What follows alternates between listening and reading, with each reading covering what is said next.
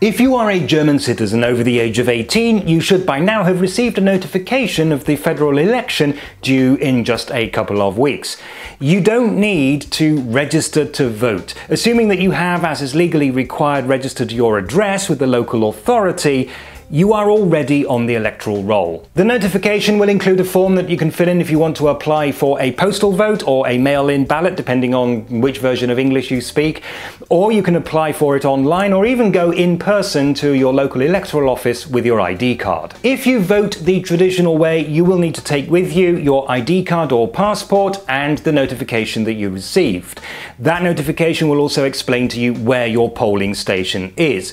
If you have lost that notification, then don't worry, just your ID card on its own should normally be enough. According to Article 38 of the Basic Law, which is Germany's constitution, the election must have the following characteristics. It is universal, meaning that every adult citizen is eligible to vote. It is direct, meaning that there is no electoral college. It is free, meaning that all voters are allowed to make their own decisions about who to vote for. There is equal representation, meaning that all votes carry the same weight regardless of who cast them. And it is secret, meaning that it is impossible to discover how any specific individual voted. Germany uses a method called mixed member proportional representation. The ballot paper is in two halves and you vote once in each half. Your first vote goes to a local candidate, your second to a party list. The first vote is easy to explain. Germany is divided into 299 constituencies, each with about a quarter of a million German citizens. Each constituency elects a representative to the Bundestag, who is then said to have received a direct mandate. So far, this is a simple first past the post system as used in, for example, the United Kingdom.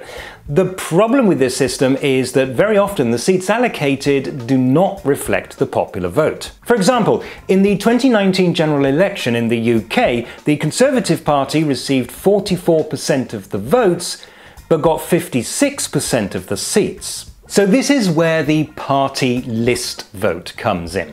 In each of the 16 states, the parties fielding candidates also draw up a list of further candidates.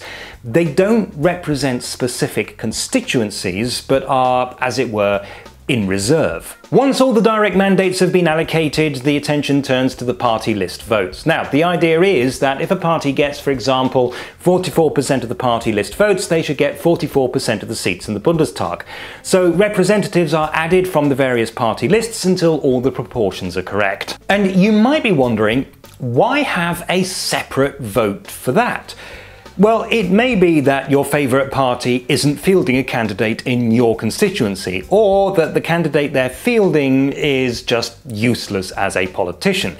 You might want to vote for the best local candidate regardless of party affiliation, but also have the opportunity to indicate which party you think has the best overall policies. In theory, this gives you the best of both worlds. You have a directly elected local candidate who identifies with and hopefully understands your area, which is one of the greatest strengths of the first past the post system. But you also have proportional representation. However, there is one major flaw and is predicted to cause a particularly large problem this time around. And I do mean large. It can result in a stupidly large Bundestag. Ideally, there should be a roughly equal number of direct mandates and party list mandates, resulting in a Bundestag of about 600 members. But it's usually bigger, and part of the problem is overhang seats. It often happens that one or more parties win more direct seats than their party list vote would normally qualify them for. In the past, this has been ignored, and the Bundestag has typically included a relatively small number of these overhang seats. But a few years ago, the Constitutional Court ruled this practice unconstitutional. And so in 2013, it had to be changed. Now, if a party ends up with overhang seats, more representatives are added from all of the other party lists to make up the numbers. And this is why the current Bundestag, which was elected in 2017, has 709 members, about 100 more than would otherwise be normal. By comparison, the US House of Representatives only has 435 voting members. But that's the system that we have, at least until everybody can agree on something better. So that's basically it for this video. You might want to check out a video I made a couple of weeks ago in which I listed some of the most important parties in Germany, and in the near future I will be making a video about coalitions and the appointment of the Chancellor, so watch out for that. Until then, goodbye and happy voting. Oh, by the way, did you notice? New microphone. Yay! Germany uses a method called mixed member proportional.